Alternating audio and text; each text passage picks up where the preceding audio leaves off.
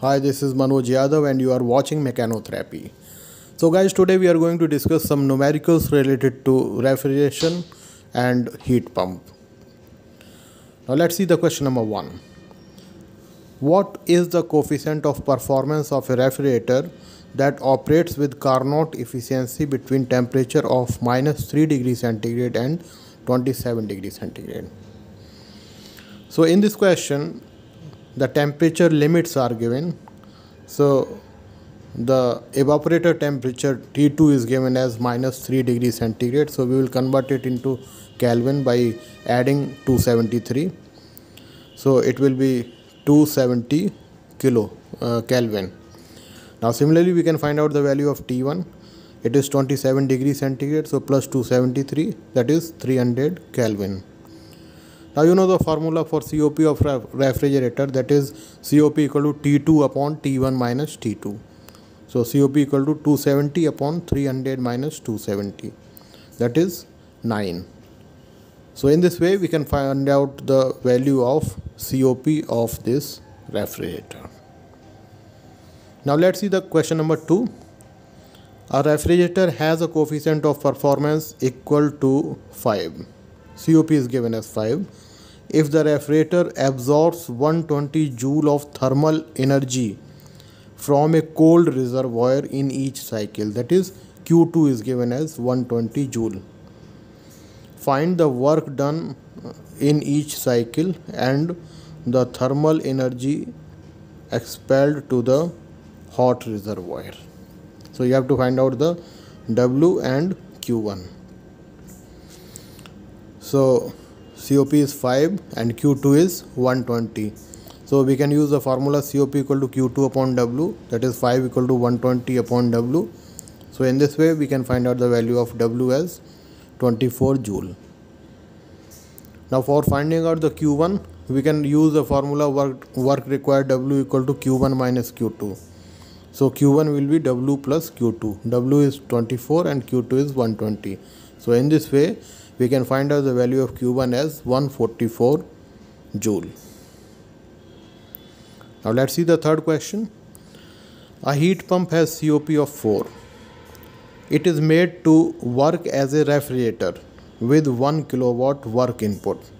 Calculate the refrigerating effect. That is, you have to find out the value of Q2. So, the COP of heat pump is given, and this heat pump works as a refrigerator. So when it will work as a refrigerator, the COP of refrigerator will be 4 minus 1 that is 3. You know the relation between heat pump and refrigerator for same temperature limits is COP of pump equal to COP of refrigerator plus 1.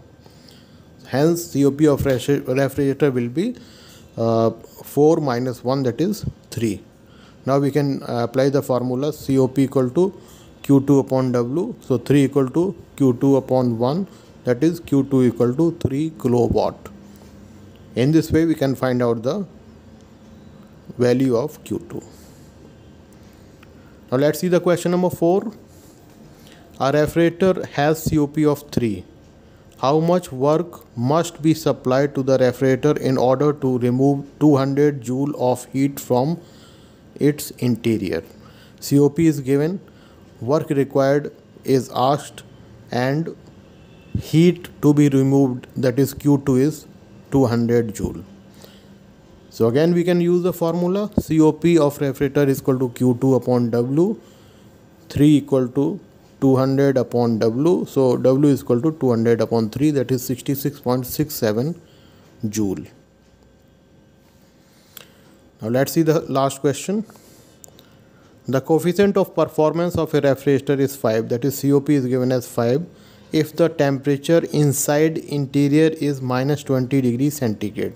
So this t2 is given as minus 20 degree centigrade or we can say minus 20 plus 273 that is 253 kelvin. So this t2 is given as 253 kelvin.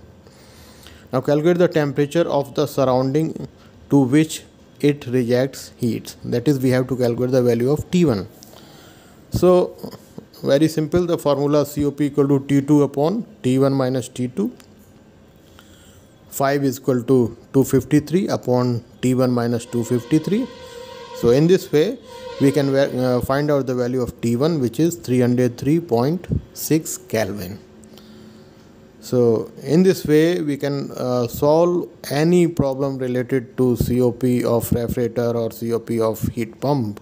We have to use these formulas COP of refrigerator equal to Q2 upon W COP of refrigerator equal to T2 upon T1 minus T2 or COP of refrigerator equal to Q2 upon Q1 minus Q2 so that's all for today's class. Okay thank you. Thank you everyone